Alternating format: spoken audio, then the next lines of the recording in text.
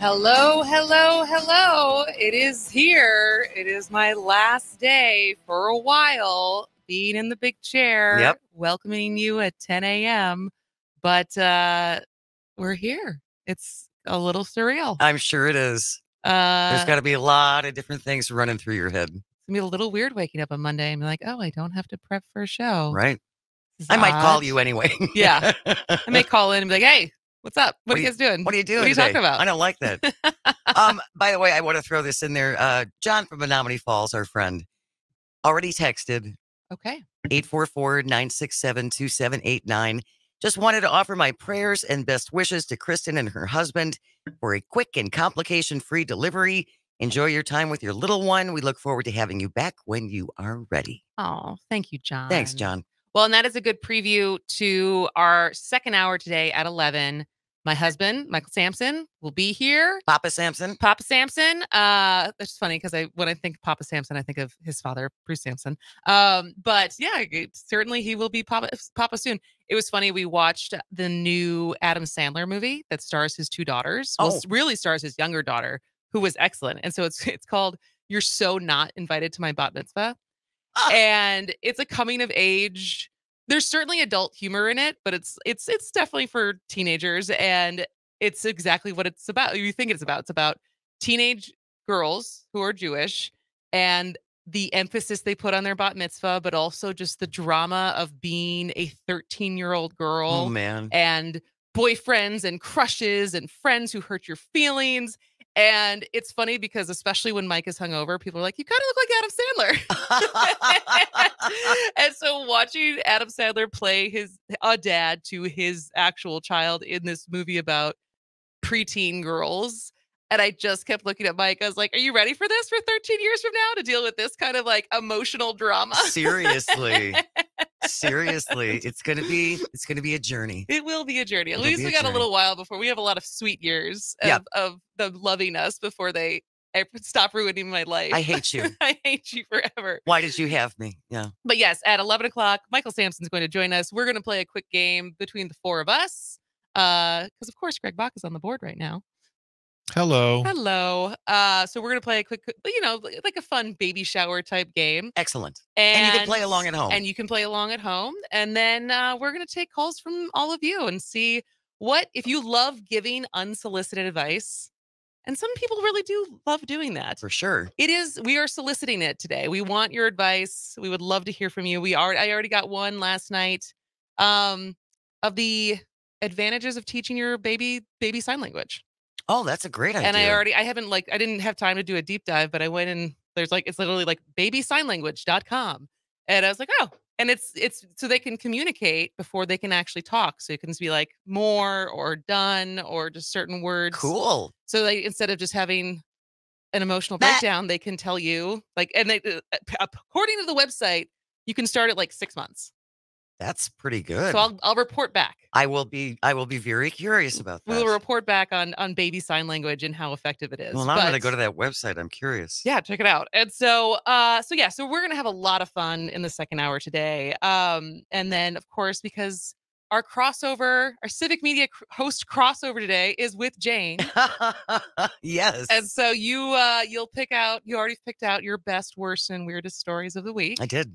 So we'll get to that at 10 30 and then uh we'll do head to head with you two on a on a headline quiz I'm not worried. i don't think you should be I'm terrified. If you guys make this like, if you guys choose to keep that segment and make it hyper competitive by the time I get back, I would be very impressed.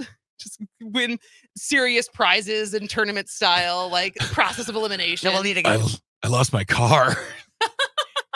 it'll need its own theme song, and uh, well, yeah, we'll see how far we develop this when while you're gone. Absolutely. All right. Well, I thought I'd get one more, one more rant in. We haven't really had a good rant I in haven't a had while. a good rant in a while, and this is not a rant about Wisconsin politics. This is not a rant about eh, really federal politics, like congressional politics either. This is a rant about how much I just feel like America sells out its citizens sometimes. And it's a rant about my frustration with the idea of how many people subscribe to this idea of personal responsibility and yet this, the odds are so stacked against us in this country to treat your body well. So I'm surprised I haven't heard this more, but this is a uh I read this in Washington Post. But many junk foods, many of today's unhealthy foods that we think about, and we were joking about this yesterday, is the foods that you want to eat when you're depressed, Right. potentially going to make you, you- more depressed. Yes. But many of today's unhealthy uh, foods were brought to you by Big Tobacco. Big tobacco. Big Tobacco. How does that work? Well, I'll tell you. Okay. A new study suggests that tobacco companies, who were very skilled, as we all know, at marketing cigarettes, They're fine. used similar strategies to hook people on processed food. So, for decades, tobacco companies hooked people on cigarettes by making their products more addictive, similar to opioids and pharmaceutical companies Right. and Sackler and Purdue. But now, a new study suggests that tobacco companies may have used a similar strategy to hook people on processed foods. Because I didn't know this, but in the 1980s, Philip Morris and RJ Reynolds acquired the major food companies Kraft, General Foods, and Nabisco, Wow. allowing tobacco firms to dominate America's food supply and reap billions of in sales from popular brands such as Oreo cookies, Kraft macaroni and cheese, Lunchables, Teddy Grahams. All the stuff that's crap for you. And by the 2000s, they had basically spun off all the food companies and had exited the food industry. But as we know, I mean, I don't know what your guys' pantries looked like. I mean, we're a little bit age difference, but like the 80s and 90s, my brother and I talk about this all the time. The stuff, the crap in our house. Sorry, mom. But like, you know, like we had an, a fridge that was just soda. We had a cabinet that was just candy. We had f- snacks all the time. And like we have luckily we have pretty good genes and we played a lot of sports, Right. but like we just had there was like processed food Everywhere. Kool-Aid. Think about Kool-Aid. Oh, yeah. We lived on Kool Aid. Oh, I'm thinking And about Kool Aid right now. Mm. and so the new research, so this is it's published by the journal Addiction. And uh that's the name. The name of the journal is Addiction. And it focuses on the rise of hyper palatable foods, which contain potent combinations of fat, sodium, sugar, and other additives that drive people to crave and overeat them. Yes. You want more. And it's the same thing. I know when um Super Size Me came out and this the the research they had done on that on like what is in McDonald's fries and it's sugar. And sugar is addictive. And the fact of like what the sugar lobby because and cornstarch specifically because we make so much corn in this country. Right. Um Is in, and corn syrup is in everything. everything. Everything. And so the addiction found that in the decades when the tobacco giants owned the world's leading food companies, the foods that they sold were far more likely to be hyper palatable than similar foods not owned by the tobacco companies. Wow. And so in the past 30 years, hyper palatable foods have spread rapidly into the food supply, coinciding with a surge in obesity and diet related diseases. And so we talk about how America, like people are like obesity is a huge problem. It is a huge problem. But is it a huge problem because people can't control themselves or because of what affordable food actually looks like and was has been allowed to look like in this country? And what's in the affordable food? Yeah. And I just saw this and it's like, and I don't know if it did, didn't make more waves because, oh, yeah, of course. I think that's probably part of it. Is it a surprise that big Pet, big tobacco would have no problem with getting Americans hooked on other things that are bad for them? I'm shocked. I know how bad it is for them and just be like, And yeah, whatever. Hey, that's what they want. We're just giving the people what they want. well, and as someone who just traveled abroad, Yep. how different did you feel when you were eating in England or Portugal? Like, how did, uh, different did your actual body feel? Well, and I don't know if it's partly the climate, um, because England was cold and rainy, and when we're there, it's always cold and rainy. Um, but certainly in Portugal, the tomatoes taste different. hmm the bread tastes better. And we were talking to a couple expats from England, and they're both in their late 70s. And he's been in Portugal for about a decade. And he said, I'm healthier now than I've probably been in 40 years Yeah. because the food here is so much better for you. Well, and that's what I talk to people who will go to Italy and just binge on pasta and pizza and and wine and will lose weight. Yeah. Than when they're living in America. Because again, it's it's fresh produce. It's it's not there's no snackables. There's you know, there's very little of that stuff, but still there's a lot of ham. There's a lot of they eat a lot of pork. There's a lot, you know, but but it's just it's just different. And it's just and I'll I'll talk a little bit more about how I find this so frustrating as far as when it comes back to this idea of personal responsibility when it comes to anything that is addictive that gets pushed on us whether it was opioids alcohol processed food just the consumer mentality in general in this country and that you as an individual are supposed to be strong enough to withstand billion dollar industries and million dollar ad campaigns pressuring you and trying to convince you to consume all of these things. But You have no willpower. but it's your fault. You're Well, that's- fat, that's and it's right. your fault. It's your poor, Yep. and it's your for- fault that you're addicted to any variety of things. you have no willpower. You're a you you, you just you're not strong enough. You're You have to get enough. stronger. You got to be tougher. All right, I told you it was going to be a rant. And it's not even a rant directed at anyone except the people who allow this to happen, which is part, which is basically all of politics, because we could we could change this, and yet we don't. So we'll talk a little bit about the FDA get it off your that, get it off your belly. and then we're gonna have a lot of fun. Yes. But if you have thoughts on this, does this surprise you? Does this surprise you that big big tobacco's uh, behind some of the most addictive bad food in our culture? 844-967-2789. Give us a text, give us a call, and we'll be back right after this. This is As Goes Wisconsin.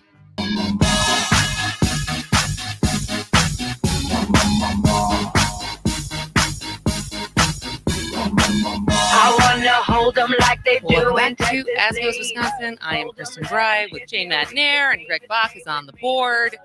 And uh, before I finish my final rant, before I bid bid you all adieu for a couple months um, and have this baby, uh, you said that we had a nice text. We do from the 414 Kristin, longtime texter, zero time caller. Been listening since day one every day. Oh my gosh! Thanks, all three of you, for making Wisconsin a better place. And Kristin Brey, do a great baby. Do thank a you. baby. Thank you, Tim. Tim also says famous Milwaukee urban farmer Will Allen's best stump speech line If my grandmother went into a modern supermarket, she wouldn't recognize a lot of products as food. Oh yeah, Yeah, absolutely. Greg. Do you uh, do you have feelings on this this new new research or new study or new I ha- find, whatever you want to call it? I have a lot of opinions on it, and I think one of the things that uh, that's important to discuss because you both brought it up towards the end of the segment, which is feeling like failure, setting up for failure, and and one of the things we have to take into account of it is the boom, cheap access to workout workout culture. Now, not saying anything wrong with working out, staying healthy, but I think people nowadays, what we do is we go to a, a gym, we pay $10 a month. We may go, we may not go, we may lose some weight, we'll gain weight. And there's a whole other thing that comes with that. And then comes with that going back to the foods that we didn't want to eat in the first place, those high sodium, high sugar foods. Like it's it's a vicious cycle that includes everything. And I could talk about it for days. Well, and it's also a lie that Yeah. it's important to work. I mean, it's important to work out for a variety of reasons, but the actual, like, so much more matters what your diet is yes. than how much you're working out. And I forgot which food book or food documentary talked about this, but at the beginning of Obama's administration, Michelle Obama's thing was food and sugar. And by the end, it was movement. Yeah. Yep. Yep. And it was like, get off your butt, go move, Get because moved. that's what matters. And it doesn't. No. I mean, it does, and you should. Like, there is walking, everything, but killing yourself to work out while still being addicted to bad food, like you can, you can be trim, you can be healthy by wa- just walking, and as long as you're eating well. And it Yep. is so much. We as a country are basically okay poisoning our citizens. And truly, I mean, we've joked about this before in my love for Skittles, but this is ongoing in, in California right now that there is an ingredient in Skittles that they are trying to ban in California because it is literally poison. and somehow it's allowed to be in food products. And I was talking to a girlfriend who has always worked in like dental equipment. And when she was selling to Asia, and she would try to give like a value prop of like, oh, it's FDA approved. And the buyers would be like, we don't care what the FDA says. What is Europe doing? Because- because the FDA is not considered credible. Yes. That's disturbing. Yeah. And so it is just, I go back and exactly what you were saying, Greg. It's just, it's so frustrating to me. And I think this is a theme from this week, like I said, because I was watching that movie about the opioids. And it's like they purposefully, as they the heat started to come on Purdue, said, Dre, blame the drug abuser. Don't blame us. Exactly. Yep. Blame the junkies. Yep. Don't blame us. Yep. Blame the people who can't control themselves. And on the alcohol, alcohol, you can't go anywhere without being offered a drink, especially in this state. Absolutely. But you, I mean, you advertisements for alcohol are everywhere. The expectation that, well, what, what what's wrong with you? If you don't have a drink, you're either a recovering alcoholic or something's wrong with you. Obesity, poverty, like it's so many things that are set, up for you to fail, and yet it's your fault when you fail, even despite all the traps that have been laid for you. you weaklings. Maggie Dawn, our friend, is on the phone. If you want to join us, you can always call 844 967 2789. Hey, my friend, our friend, how are you, Maggie? Best of luck. Congrats. I hope it all goes very smoothly and that you have a great break with your new baby. Oh, thank you, Maggie. I just wanted to call up. This is such a great discussion and share a couple of small facts that can help people actually understand what they're eating a little bit better. Great. We all that grew up in the 70s and 80s remember when the nutritional labels finally came on board and it was like, oh, great, this will be helpful. And then you look at them and you're like, I have no idea what any of this means. Mhm. So, so a couple of really easy things to do. If you take the grams of fat and you multiply it by nine, you will have the calories in that food product that are coming from fat. And so if you then take that number over the total number of calories in a serving, you'll know what percentage of fat one serving of that food product is. And generally speaking, you want to have it under 20%. So grams of fat times nine gives you calories made of fat. That number of calories over total number of calories tells you the percentage for that food that's made of fat. Now, of course, they could have simply reported that, but the FDA got lobbied, so they Yep. don't.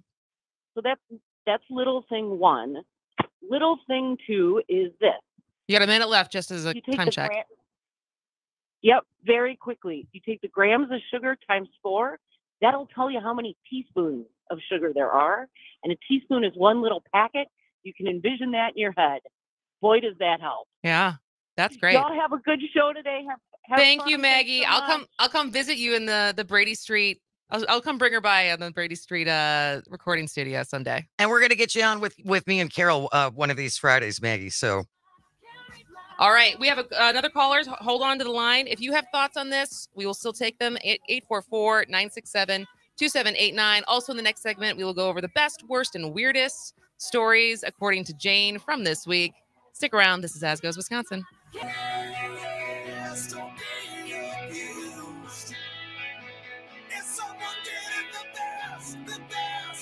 Welcome back to As Goes Wisconsin. I am Kristin Brey. She is Jane Matenaer, and Greg Bach is on the board. And today is my last show for a while. yes, Um, I am going to have baby on Wednesday, unless it's sooner. But we made it.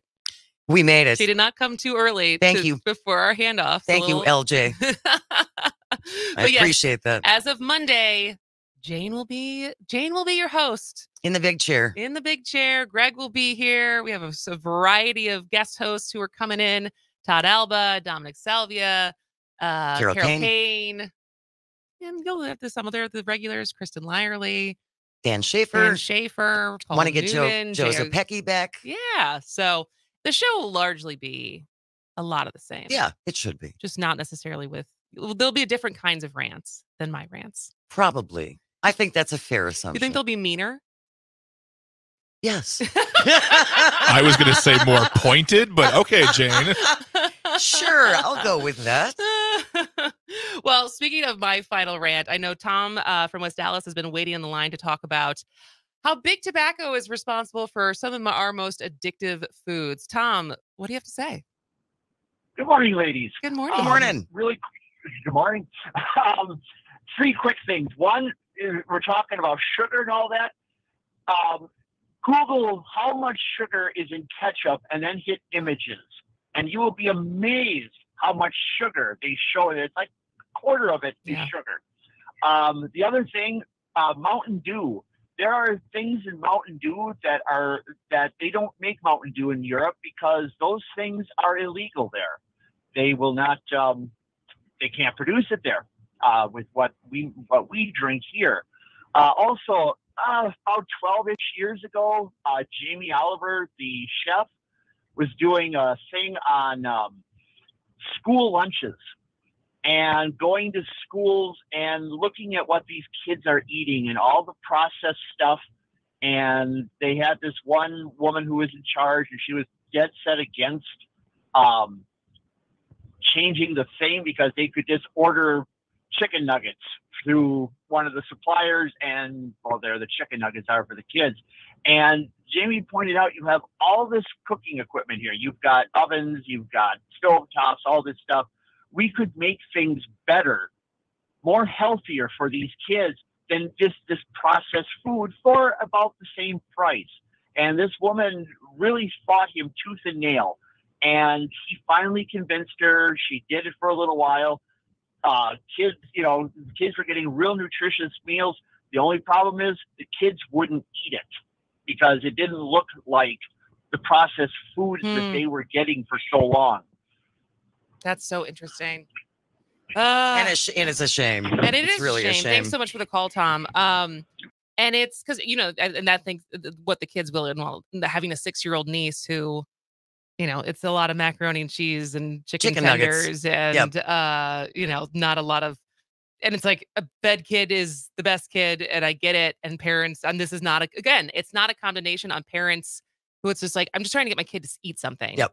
And this is what's available, and this is what they'll eat, and it's such a bigger to me, it is such a bigger condemnation about what government is supposed to do, which is protect us. And they sold out. They've sold out to lobbyists. They've sold out to big food companies and sugar companies and the or lobbyist like sugar lobbyists and corn lobbyists and fast food and all of the things that it's just like, well, we can spin this, See, right? You're looking at this wrong, Kristin. They are protecting people because corporations are people Ah, yes. and they're protecting those people. Those people. Those people, not us people. not us people. those people. Exactly. Because corporations are people. We have a very interesting text from Robert from Richland Center saying, as you stated, Kristin, Michelle Obama promoted healthy eating and got a huge backlash from people with the message of how dare you tell us what to eat. Perhaps this is why she pivoted to exercise. Because yeah, when it comes to that subject of eating, people will it's like that's my freedom. You don't get to step on my freedom. it was that it was but it was also lobbying. Yeah, I mean, I mean, I think there was certainly political pushback, but And it, pressure, I think what actually changed is is a lot more about the lobbyists that came in. It was like, we don't, we need you to not be pushing But- but they- healthier food. They they really did demonize Michelle Obama. Oh yeah, Oh my God, they're gonna take away our Oreos. Ah! just like those gas stoves. Right. and cheeseburgers. Yes. Oh my Like, God. But that is a, that is there is something too that it's like, oh, we found that gas stoves could be dangerous. So I, you can take my gas stove over my dead body. Yeah. Right. right. From my bro. cold, burnt, dead hands. oh, Wait, all right. Well, oh, go ahead. we have a text from Scott in Chicago. Um, as we're going to transition here. Uh, many prayers for a healthy baby and easy delivery. I have not missed a single hour of the show Oh my gosh. Since Kristin told me via TikTok I could listen on the Civic Media app back in April. So thankful for the show and wishing you well on your leave. Congratulations. That's so Oh, nice. Thank you, Scott. I that is that means a lot. That's really seriously. sweet. And um, so as a reminder, as we're getting texts coming in, uh, very much appreciated, but also at 11 o'clock. So at the top of the next hour, Michael Sampson, I just saw him on Find Friends. He is in route. He is not going to be late. He did not oversleep. You're tracking him. we, tr- we have each other on Find Friends, which is a whole other topic for some other day. Um, but he will be here shortly and we will play games. We'll get his thoughts on what he's most nervous about, most excited about. But also, we would love to hear from you on parenting advice and things that you think we should know that maybe we haven't heard yet. Uh, so, in the next hour, please feel free to text or call in 844 967 2789. And for now, Jane. Yes.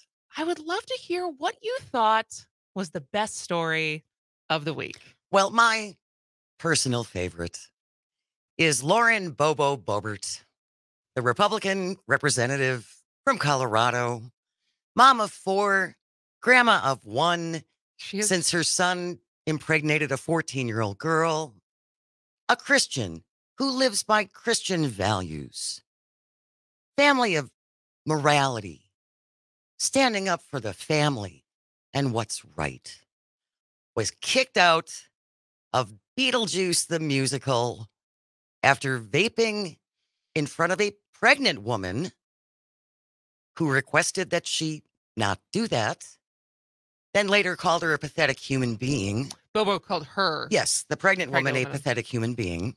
like a good Christian. Well, State Farm exactly. is there. And and because she lives her Christian values every day. That's what she said. And then it turns out that it wasn't just the vaping and the over excessive hand waving and the taking videos and photos, which you cannot do during a live performance. No, it later came out that Bobo and her date got a little frisky. It's on video. He has his hand down the front of her dress, and she has her hand higher up than his knees.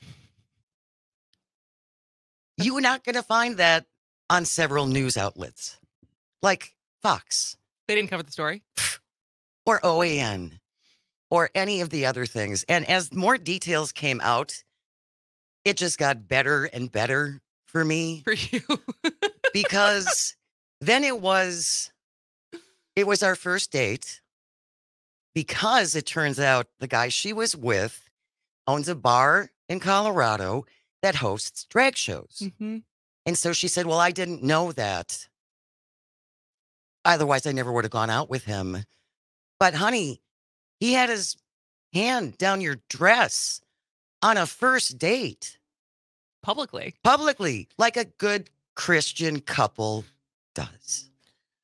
Jane said to me, she's like, Did you see the video? I'm like, Yeah, of course I saw the But you know what's even better for this this poor guy? I mean, I don't really feel bad for him because it's Yeah. like you know who you were going out with. oh, yeah. His bar has just been lambasted with one star reviews across like Google reviews and Yelp and everything of oh well not going back to this bar.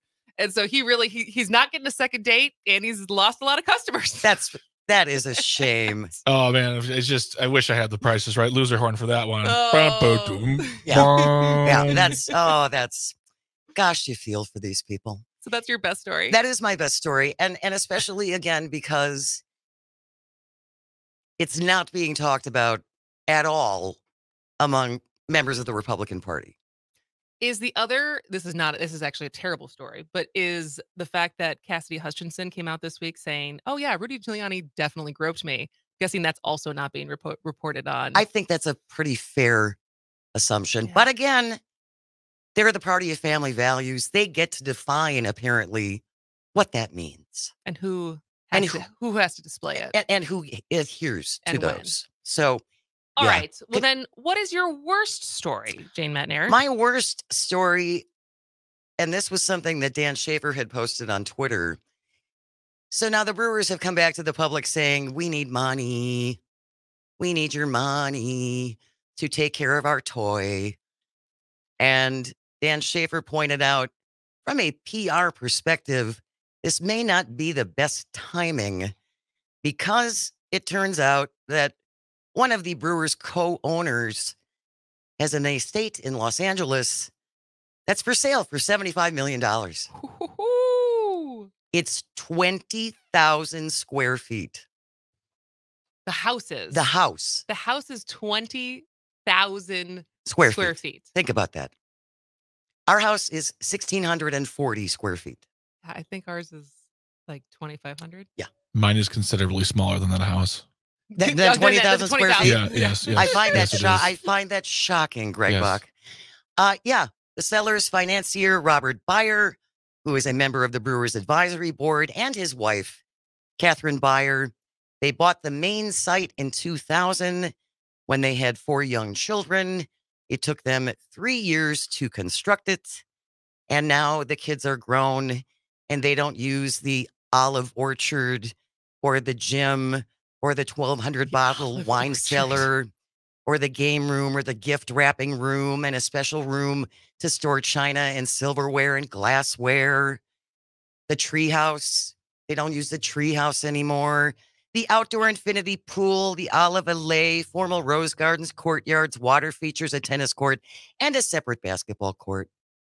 So it's time to sell. It's time to sell. Yeah, because well, obviously, and uh, and it's nice too because they don't really need it because they have been splitting their time he and his wife between California, Sun Valley, Idaho, and the south of France. But not Milwaukee. Uh no, No. Got it. but they need your money. They're going to put $100 million into the stadium. Well, uh, the whole hundred million dollars. Think about that. Basically, the profit of this sale. I yes. so that is my worst. All right. Then you got a couple minutes to tell us your weirdest story of the week. Jane Okay, Matenaer. Um, this hit me as I was driving into work this morning because this is a group that I did not realize existed. And I was coming in and I was flipping across some dials and landed on a station that is not a civic media station. okay. And I knew that instantaneously because the first thing I heard in this ad was call Robin Vos and say thank you. And I was like, what? What am I What, listening to? what, what, what are we talking about? There is a Wisconsin Realtor Advocacy Fund. Fund, Fund. not group. No, fund. Okay. The Wisconsin Realtor Advocacy Fund. And I jumped over to their website, and all it talks about here's what it says The legislature put your interest first and passed a state budget with $650 million in property tax savings. That means the typical homeowner in Wisconsin will see a $300 reduction in their property taxes. Currently, the Wisconsin Realtors Advocacy Fund educating state residents on the legislative record and actions of the following senators and representatives. We want people to thank these public officials for passing that savings. You can call them. Here's Robin Vos's phone number 608 266 9171. Write it down. Call often and tell Robin very politely what you think. And then say thank you. This is the kind of dripping sarcasm you can look forward to for the next three months I'm as Jane Matenaer. to wipe the desk down after this segment. All right. When we come back, uh, we're going to do our headline quiz. Jane v. Greg. Bring it on. around. Bring it on. Play along. This is As Goes Wisconsin.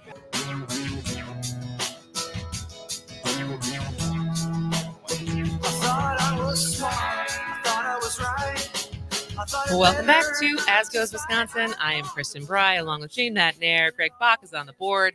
I've just seen my husband, Michael Sampson, walk into the green room with a uh, dripping bag of greasy Taco John's, which is his stop every time he's ever come to the WAUK studio Changed my life. uh, because he's a big fan of potato Olés. Yes. And raise your hand if you just hugged him gingerly. This guy. he is wearing his back brace Yes. Yep. proudly. I gave good. it. I gave it a, a soft but meaningful hug. so coming up uh, at the top of the next hour in the next segment at 1106 he will join us on air and we're going to play some baby shower games we're going to take your advice 844 967 2789 what if you have kids what was the best advice you ever got as new parents uh, and even if you don't have kids sure Bring it on. bring it on we'll take it uh, but for now we are still going to oh actually did you say that we had another text We did have a text. We were talking about the Brewers Stadium and them asking for lots of money. And uh, texter from the 541, excuse me, says Brewers Stadium. Odd how the Republican led legislature is okay with spending money on the stadium when Democrats would like to see more money from the owners. Wonder if they can open a daycare in the stadium during its downtime. I like you. I like that I- idea. I, like you. what kid wouldn't want to go to daycare at the Brewers Stadium? Right? That would be amazing. That would be amazing. I want to go You'd to have an kids just to be able to send them there. I want to go to an adult care. I want to go to an adult care. I'll buy I'll buy a box when I get older. This is where I live now. I live in the this is my box.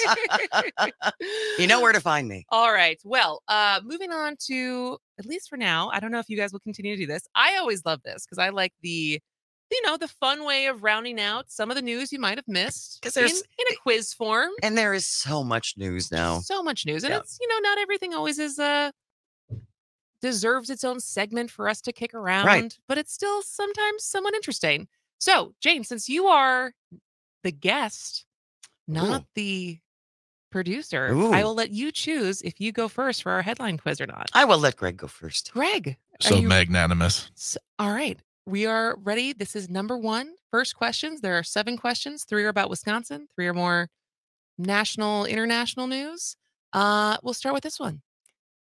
The FTC began accepting refund applications this week for unwanted purchases made in which video game? Clash of Clans, Fortnite, Candy Crush Saga, Stardew Valley. Stardew Valley. Stardew Valley. I'm gonna go with Fortnite. Indeed, the FTC is accepting refund applications for unwanted purchases in Fortnite because basically they had set up the game. I was reading about this for kids to just like not unknowingly be buying stuff oh, inside the game. So now, if parents, if you have kids who play Fortnite, that that game is connected to your credit card, Look out. look out and see, make sure that there's not a bunch of unwanted purchases, and you are now, uh, On the hook for. well, you can also go get a refund for it Good. now. Yeah. Well, that's good. All right, ding, ding, ding. Ding ding ding. Greg's at one. Jane, on Monday, which state became the first to abolish cash bail? Illinois, California, New York, Oregon. I'll say Oregon. It was actually Illinois, Oh. Our neighbors to the south. Oh man. Oh, wow. We'll be watching. I'm sure that'll be interesting to see How that how that how applies. that how that plays out. Mhm. Um, especially as we just bolstered our cash bail. Uh, Yay. Greg, Greg is one zero. Yeah. Greg, Yep. yesterday, Mhm. the Milwaukee County Board approved a measure to declare Milwaukee County as a sanctuary for undocumented undocumented immigrants, transgender and non-binary people, fugitives, Bears fans. Transgendered. Ding ding ding. That is true. Well that done. just Thank you. yesterday. Two for two, Greg. All right, Jane. This week, colleges and universities in Wisconsin just received their annual ranking by U.S. News and World Report that uh, compare them against schools across the country. University of Wisconsin Madison saw its highest overall U.S. News ranking in the past 15 years and is now ranked 25th, 35th, 66th, or 86th.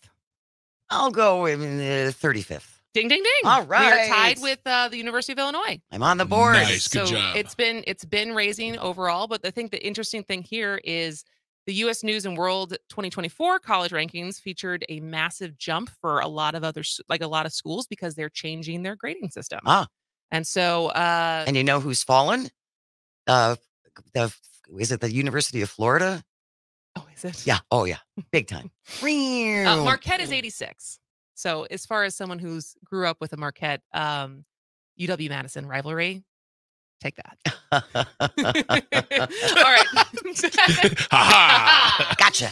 Back to Greg. Uh, this uh, fill in the blank. AMC's CEO hinted that the theater chain could start selling its own beer, reclining chairs, licorice ropes, wine.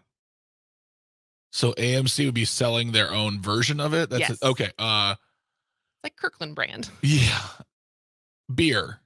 wine. Dang it. Oh, Wine. The CEO, AMC Theater. Mhm, the CEO of AMC Theaters tweeted about branded wine. Okay. I okay. don't know how good it would be, but A fine Chardonnay. Probably just as good as an AMC Theater. Boom. ding Oh. ding.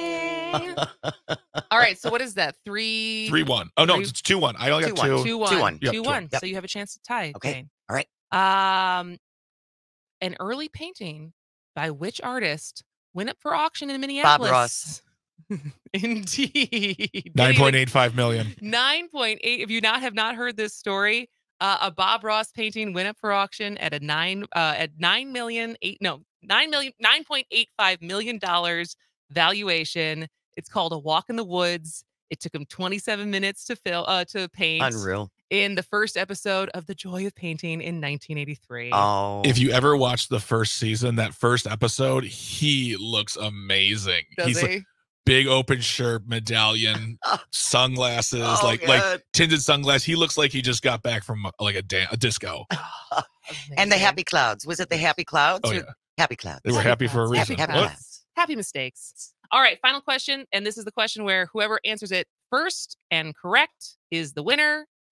With the GOP proposal, how much money would taxpayers spend on American Family Field to keep the Brewers here until 2050? Seven hundred million.